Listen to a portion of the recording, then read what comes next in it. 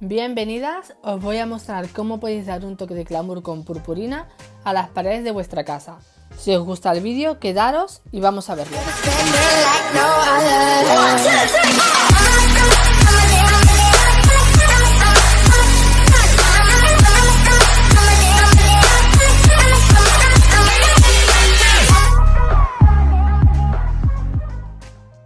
Voy a empezar por mostraros los utensilios que yo utilicé para dar el efecto de la purpurina. Primeramente utilicé esta marca Procolor Monocapa en color gris, porque yo el efecto que le di con la purpurina, recordad que era purpurina plateada. Luego utilicé de la marca Osaka este barniz que ya viene con un poco de purpurina plateada, pero ya os digo que yo le añadí cuatro botes más de purpurina para que quedase un efecto super glow. Luego utilicé esta paleta ancha que es la que se suele utilizar para dar el efecto arena.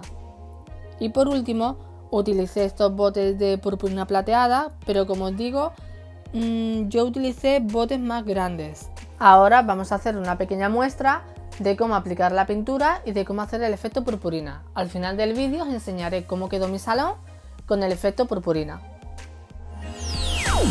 Primero, lo que os aconsejo es que miréis bien la pared y tapéis cualquier imperfección que pueda tener, para que así la pintura os quede bien lisa.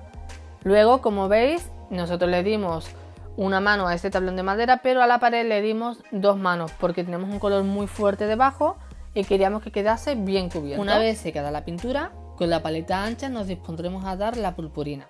Los trazos deben ser en cruz, cortos y unos encima del otro, esto hará que se difumine bien y quede un efecto súper chulo y uniforme.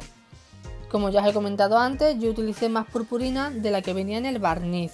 De esto dependerá que la pared quede con más brillo o con menos brillo.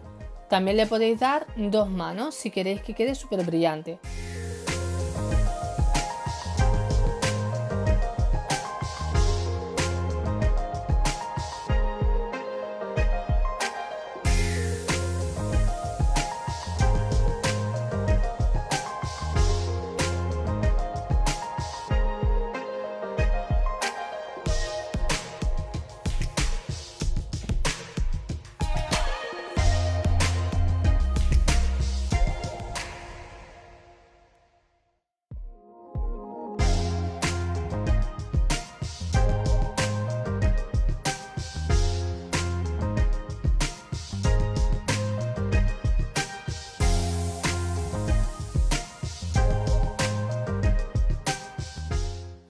Como veis, ya está casi terminada, estamos repasando los últimos retoques y ya empieza a notarse los brillos de la purpurina.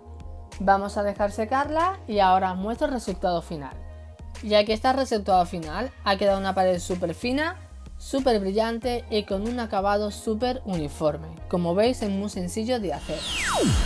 Y os dejo un pequeño vídeo de cómo quedó mi salón. Como veis es muy sencillo de hacer y da un toque muy glamuroso a las paredes.